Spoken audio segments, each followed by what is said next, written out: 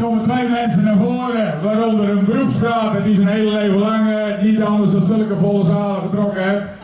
Henk Bleker en daarnaast hebben we Geertrud Portugies, een nieuwbakken bestuurslid eh, van de NMV. Geertrud, we zitten allebei in hetzelfde straatje. Henk heeft je meegesleurd in dit eh, oorlogsgeweld. We willen jullie allebei de kans geven. Ik hoor dat Henk de aftrap gaat geven. Daarna gaat Geertrud verder. Namens de NMV, Henk Bleker en Geertrud Portugies. Dankjewel. Dankjewel Jeroen. Ik ben eh, geen beroepsprater. Ik ben een beroepsdemonstrant. Vandaag helemaal geworden. 1 oktober 2019 ook. In de jaren 80 ook. Met een half miljoen mensen demonstreren tegen de kruisraketten die in Nederland zouden komen. Maar de demonstratie die mij het meest in het hart zit, dat is de demonstratie bij mijn geboortedorp.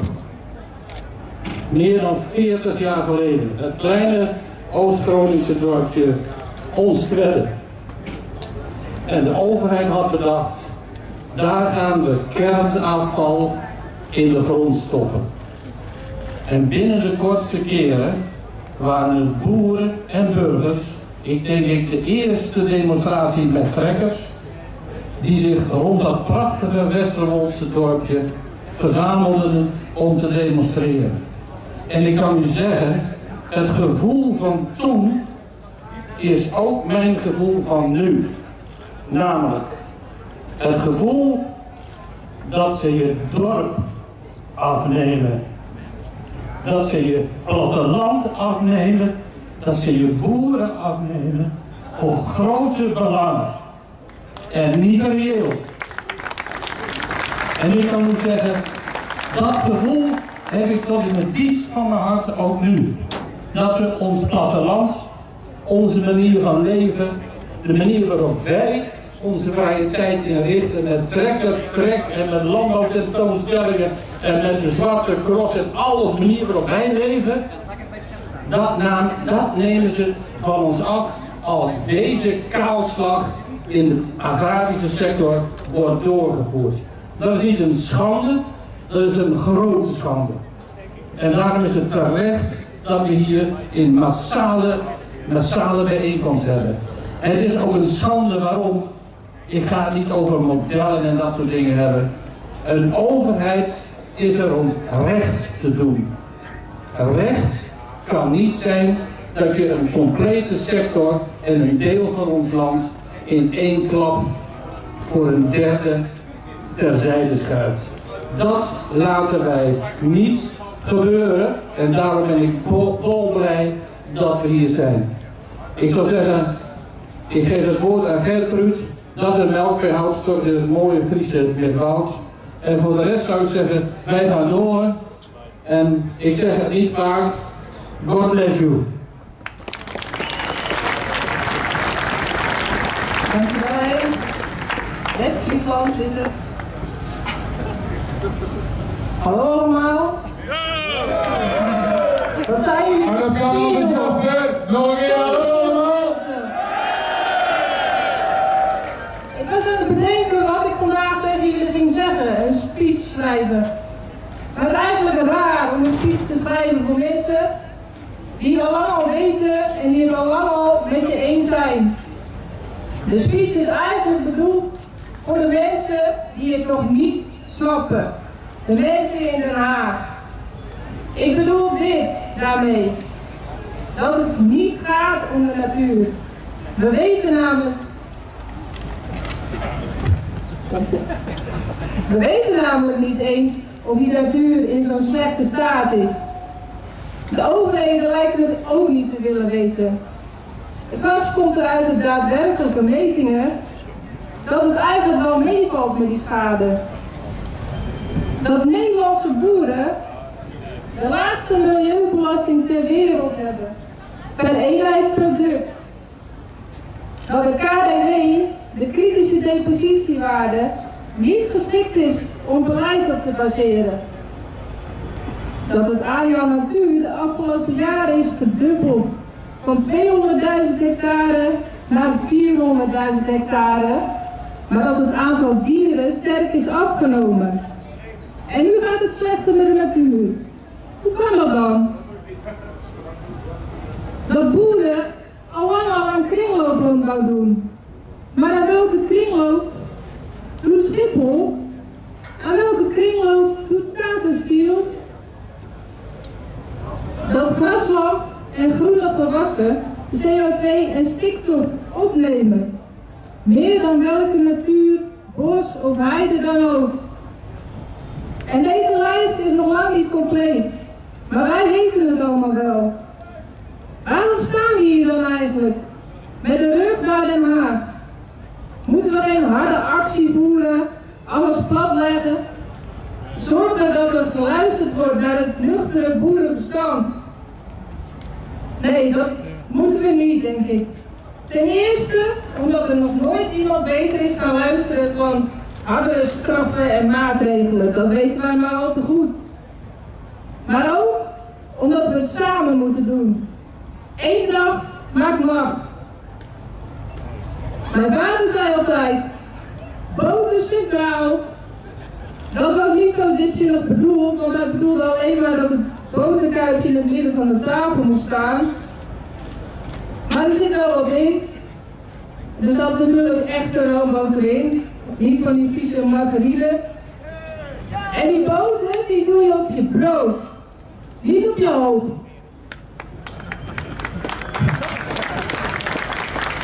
Wat ik vooral bedoel is dat we hier vandaag samen zijn, centraal in het land. Om naar elkaar uit te spreken dat we hier, voor deze plannen, dat we daar dwars voor gaan liggen. Maar niet alleen maar om dwars te blijven liggen. Als blijkt dat er daadwerkelijk een probleem is, dan pakken we het op, dan gaan we ermee aan de gang en dan lossen we het op. Zoals we dat altijd doen. Maar wij hebben Den Haag daar niet voor nodig. Dank wel. Ja, dames en heren, luid en duidelijk applaus. Ik weet gekund en ik kon het nog een beetje aan het papiertje zien dat ik je niet in de koude kleren ging zitten, maar voor de eerste keer heb je het fantastisch gedaan. Henk, ik wil aan jou nog vragen, wat stikstof betreft, mochten we het probleem al herkennen, want dat is natuurlijk het volgende, hebben we een stikstofprobleem, hebben we een juridisch probleem. Maar goed, we weten allemaal zeker, intensief heeft zijn huiswerk gedaan en uh, pittige reductie gehaald. Laat trouwens duidelijk zijn aan ieder, de landbouw heeft de afgelopen 30 jaar al 68% gereduceerd. Dat doet geen enkele sector ons na. Als er op dit moment nog kansen liggen wat stikstof betreft, dan zal het hoofdzakelijk de melkveehouderij aangaan. Henk, ik weet dat jij uh, na aanloop van, dit, uh, van deze dag ook een lijn op papier gezet hebt. De strategie die we vanuit de landbouw moeten doen, kun je die nog even in een paar punten kort aanstippen. Wij worden constant in de hoek gedrukt als jongens, jullie zijn stelletje eigenwijze boeren en je wil niks. En wij roepen hier glashard, we willen van alles. We willen de laatste twee jaar al van alles. We komen met oplossing na oplossing aan, maar dat wordt niet gehoord. Henk heeft hier een voorzet gegeven, kun je hier kort gaan Henk. Ja, dankjewel Jeroen. Zolang dit plan van de minister op tafel ligt, zullen wij, en ik denk dat dat voor iedereen geldt, de drempel van het ministerie van LNV niet overstappen. Dit plan moet eerst van tafel. Laat jullie vinden we allemaal. En laat ze het tot in Den Haag, tot in het gemeentehuis van Barneveld. En iedere idioot die het nog niet snapt horen. Dit is het punt waar het om gaat. Henk, ga verder. Dat is twee. Twee. Willen wij dan alleen maar niets? Nee, natuurlijk niet. Wij zien volop kansen om door te gaan met verbeteren van onze bedrijfsvoering, met de techniek, met systemen enzovoort. Dat doen de boeren al decennia lang.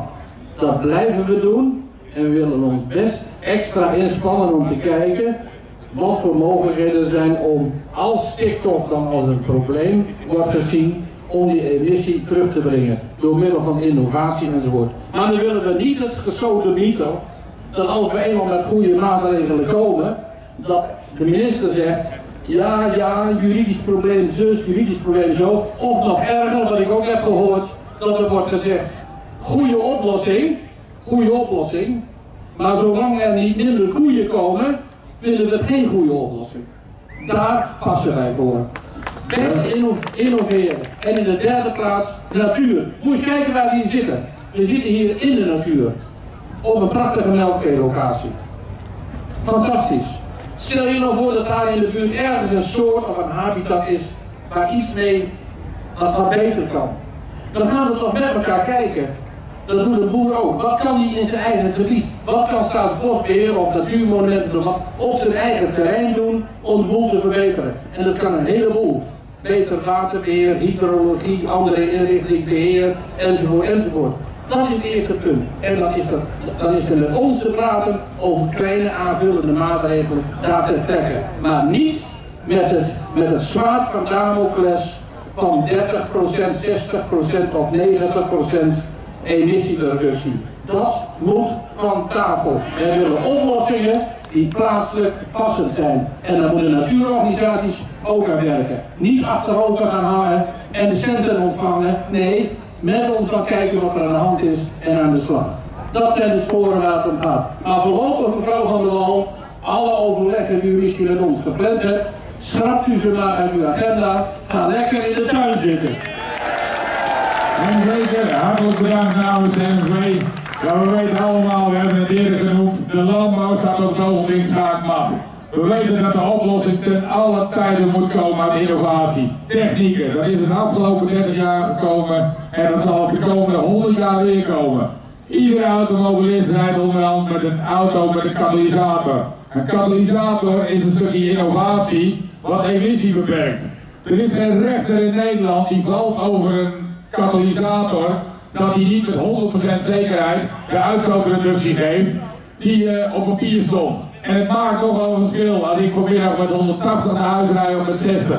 Tuurlijk zit er verschil in, maar we weten allemaal als die katalysator nou 20, 30 of 40% reductie geeft, we moeten die stuk innovatie en die emissiereductie gewoon aangrijpen. En daar moeten we naar de landbouw ook mee. Het haalt helemaal niks uit als die vloer of die luchtwassen nou 60 of 80 procent reduceert. Die eerste 60 procent hebben we te pakken. Daar moet een juridisch systeem voor komen waarin de lineaal net zo lang is voor elke andere sector, voor elke innovatie. We weten dat de hoogovens technieken gebruikt uit de middeleeuwen. Daar wordt van gesteld dat dat de best beschikbare technieken zijn. Wij hebben als landbouw technieken zat die we gebruiken willen. Er moeten centen voor komen, ze moeten juridisch erkend worden. En ik denk dat we daar met z'n allen voor gaan moeten.